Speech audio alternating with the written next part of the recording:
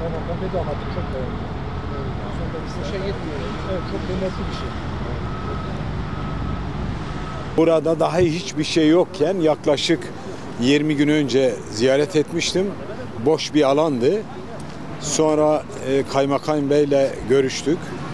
Onun kullanımı ile ilgili antat kaldık. Daha sonra da bizim fen işleri buranın altyapısını, yollarını yaptı. Sonra da da bir e, müstecir bir arkadaşımız ile anlaşarak buraları şimdi Kurban Bayramı'na hazır hale getiriyoruz. Ee, gördüğünüz gibi e, işçiler harıl harıl çalışıyor.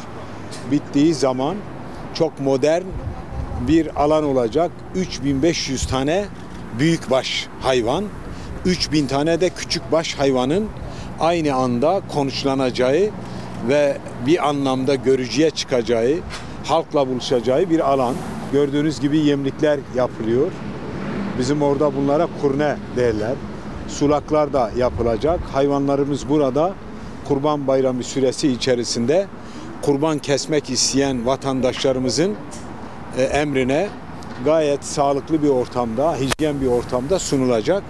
Onlar da götürecekler gönül rahatlığıyla kurbanlarını kesecekler ve dağıtacaklar. Gördüğünüz alan çok kısa bir süre içerisinde bu hale geldi. Çünkü Kurban Bayramı'na az bir zaman kaldı. Ben de arkadaşlara talimat verdim. Bir an önce bunu bitirelim diye. Bir an önce bitirmek için de harıl harıl çalışıyor işçi kardeşlerimiz. Onlar buranın isimsiz kahramanları. Emeklerine sağlık diyorum. İnşallah bu alanı bundan sonra Esenyurt'umuza ve Esenyurt'umuzun kendi kurbanlıklarını kesmesiyle ilgili gönül rahatlığıyla gelip kurban alacakları yer haline getireceğiz ve kısa bir süre sonra da hizmete sokacağız. Burada donanımlı bir alan. Bütün e, kurban alanı ana eksenimiz ama onunla beraber insanların temel ihtiyaçlarını giderebilecek her türlü altyapıyı da hazır hale getiriyoruz. Şimdi sağlık müdürümüz bana bilgi verdi. Buradan her gün binlerce ton gübre çıkacak. Bu gübreyi gömeceğiz.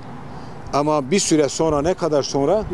Bir yıl sonra o kompost gübre haline gelecek ve o gübreyi de e, bir e, anlamda e, diğer bir takım e, park ve bahçelerin e, çimlenmesinde, bitkilenmesinde, yeşil alanların yapılmasında kullanacağız.